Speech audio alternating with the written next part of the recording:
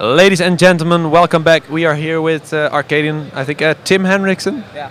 Okay. Uh, so uh, what just happened? You took all the pistol rounds on three maps, but Yeah, well, it was still a close match. Uh, I don't know. I think we, both on uh, on Nuke and Tuscan, we started to choke a bit. I think uh, we got some shaky legs, and uh, they started uh, clutching some uh, important rounds. Uh, I can't really explain it.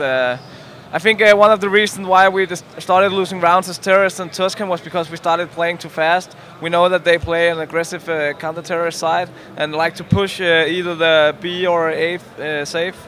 Uh, so that was one of the reasons why we didn't close the match on Tuscan earlier, at least. Uh, on Nuke, we had a lot of luck going ramp in the beginning, and when we started attacking B1, it wasn't as, as successful, and we just got crushed in the overtime. So that was that wasn't good enough. Okay. So uh, would you say that Moscow 5 is kind of overperforming this event because we haven't seen them? Uh, they have Drew SK 1515. They are giving you a really hard time right now.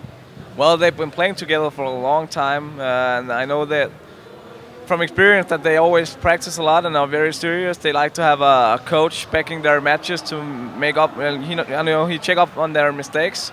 So I think they have improved a lot since the tournaments in uh, Hanover.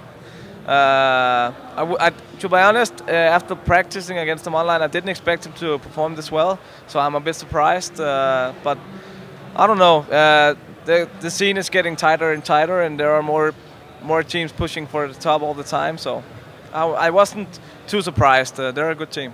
Yeah. And would you say that um, MTW has kind of always been up there, but ever since 2008, uh, the gold medals are kind of scarce. Does that bother you? Yeah, well, at least I don't know. Hope, I'm I'm just glad I haven't played in a team as long as Minet and Trace because they haven't won that much in that one and a half year. Uh, I don't know. I think that one of the main reasons is the amount of uh, you know hunger for success. We don't practice as, as much as they did in 2008. Uh, we try to practice as much as we can, but we have four people who goes to school, and uh, you know, especially here in the summer with the exams and stuff, it's it's difficult to find the time because you need to study as well, uh, and that affects our game. You know, when we played uh, the tournaments in Kiev and Hanover, we had practiced a lot, and I think we were very warm and, to be honest, unlucky to win, to lose the final in Kiev. Uh, but uh, the amount of practice since uh, since those tournaments have been very small, and that that's a, that's the, one of the reasons why we aren't as as warm as we were like four months ago. So, uh, how many hours do you think you have uh, played together for the past two weeks?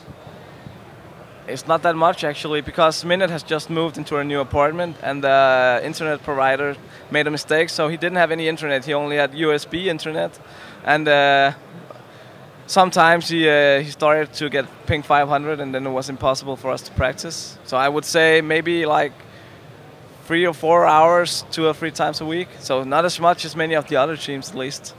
Yeah, not nearly as much. Um, so, would you say that uh, if you get rolling during this tournament, you might be able to step it up a bit further once you guys get really into the groove?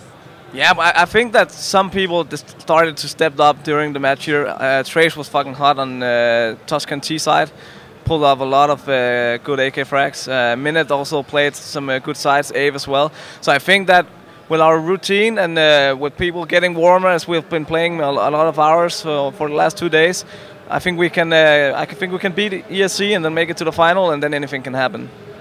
Okay, so you're saying uh, the number one, two, and three on the podium tonight are. MTW, SK, and Navi.